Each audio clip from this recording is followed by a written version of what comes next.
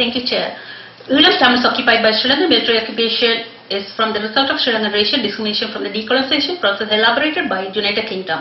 But unfortunately, the draft resolution proposed under item 2 by United Kingdom continue to ignore racial violation and acts of genocide that Tamils are facing.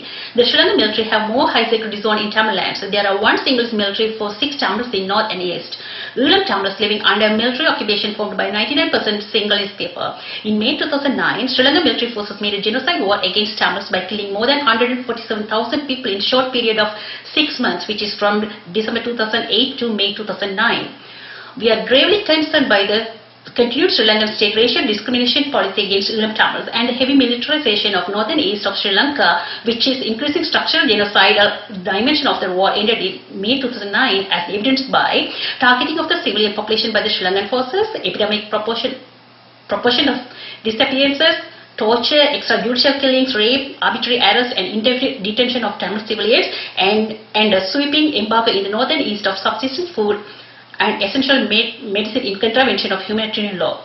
Due to high level of discrimination and acts of genocide against Eelam Tamils, we ask this council to secure a political solution that allows the Tamil people to realize its right to self-determination, appoints a country special rapporteur for Sri Lanka, refer to Sri Lanka to ICC. Thank you.